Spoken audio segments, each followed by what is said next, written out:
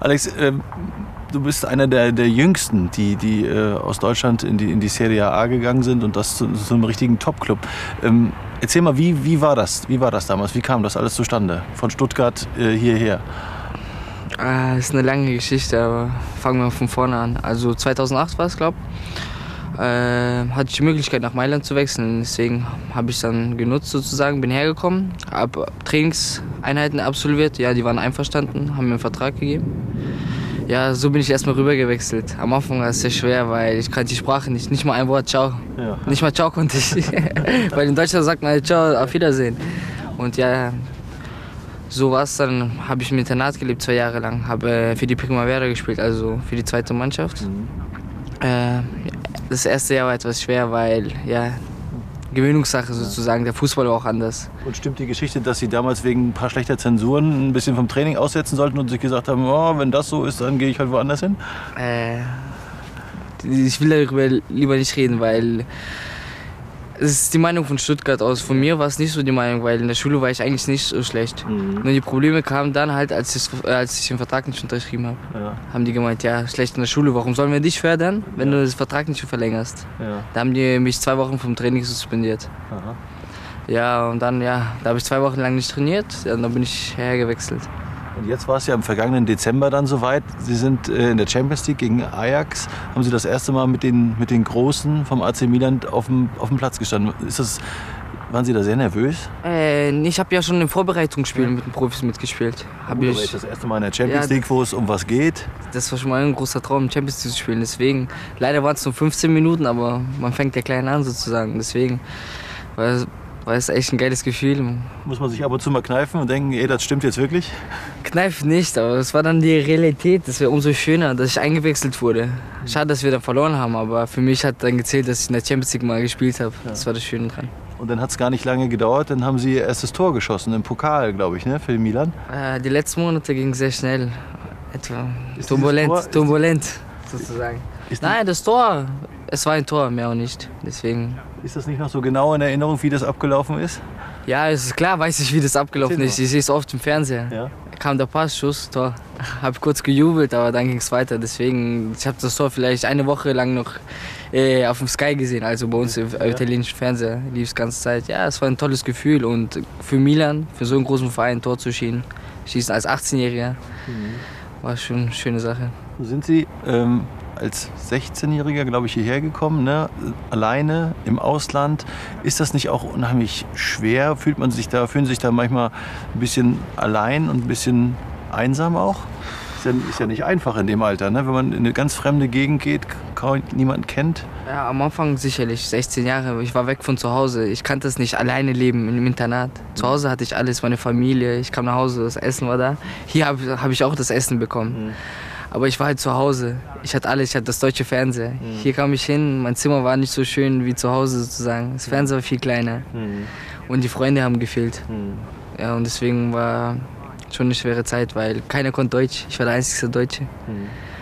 Wie, wie ist jetzt? Jetzt werden Sie 19 nächsten Monat, also sind Sie ja auch noch äh, ziemlich jung, um ganz allein auf eigenen Füßen im fremden Ja, Land zu stehen. Mittlerweile bin ich ja schon zweieinhalb Jahre da, im Sommer wird es dann drei. Deswegen fühle ich mich pudelwohl hier.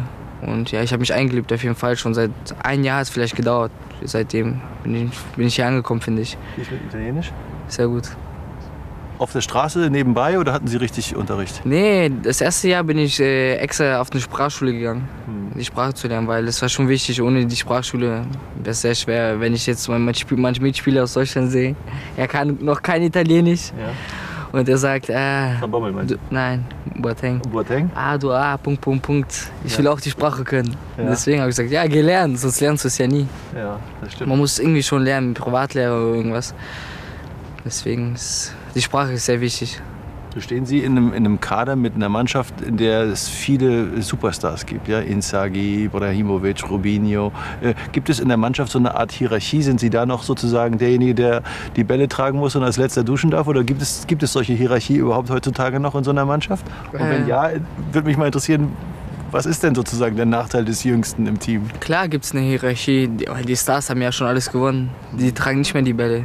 Die haben irgendwann mal haben die auch die Bälle getragen. Deswegen ist kein Problem. Ich trage zwar nicht die Bälle, die werden für uns getragen, aber ich hätte kein Problem, die Bälle zu tragen, weil ich bin schon bei Milan. Das, Für die tue ich das gerne. Ja. Mit so großen Stars zu trainieren, kann man viel lernen. Was müssen denn die jüngeren Spieler in dieser Mannschaft machen, was die Älteren nicht mehr brauchen? Jeder braucht was, aber wir müssen äh, Tag zu Tag unsere Leistung abrufen und mehr zum Beispiel laufen als die Alten, für die Alten laufen, Mhm. obwohl es keine Alten sind, aber für die Älteren sagen wir sozusagen. Macht trotzdem Spaß, ne? Ja, sonst wäre ich nicht hier, wenn es keinen Spaß machen würde. Wie ist denn eigentlich mit Schule?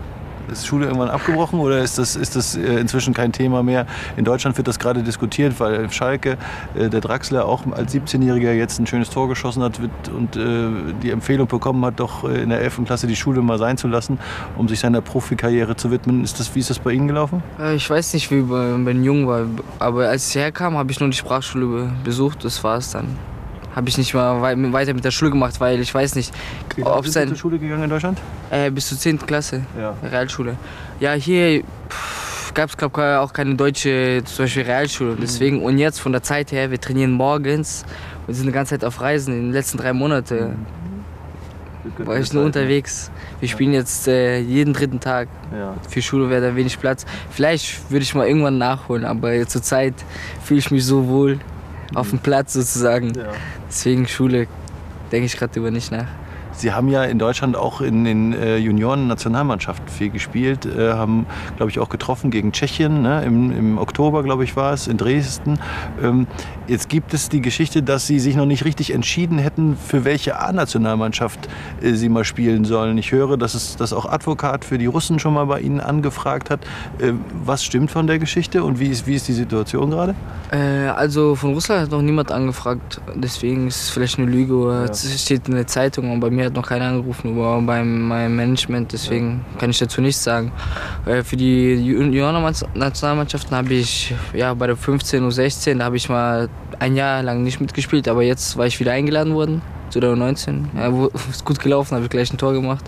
Deswegen ha- habe ich mich auch sehr gut mit dem Trainer verstanden. Also ist die deutsche A-Nationalmannschaft schon sowas wie ein, ein Ziel? Ziel auf jeden Fall. Aber wenn ich meine Leistung bringe, da kommt, glaube ich, alles von alleine. Ja. Was, ist, was ist Ihr größter Traum, sportlich gesehen? Wenn Sie sich jetzt aussuchen können. Ich bin jetzt die gute Fee und kann das erfüllen. Also ich lebe, zurzeit lebe ich meinen Traum. Und mein Traum ist es, die Champions League, Serie A, Pokal zu gewinnen irgendwann mal einen Stammplatz bei Milan zu bekommen und für immer hier zu bleiben. Wie sind Sie auf die Nummer 52 gekommen? Also im Sommer haben die mir die Nummer gegeben und ich war damit einverstanden. Gefällt mir die Nummer, bringt mir Glück und deswegen behalte ich die jetzt. Und ja, jeder will, will vielleicht die 10, ist okay, aber irgendwann will ich, ich will ein Star werden und dass Ja. die Kinder dann sagen, ah, ich will die 52. Nicht schlecht. Deswegen, Wünsche ich Ihnen alles Gute für. vielen Dank.